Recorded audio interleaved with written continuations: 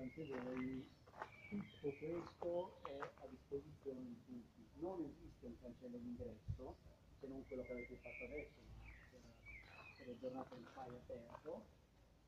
Tutto questo progetto è stato fatto perché eh, Ernesto Zegna voleva condividere con, eh, con tutti e le generazioni successive hanno sviluppato ancora di più.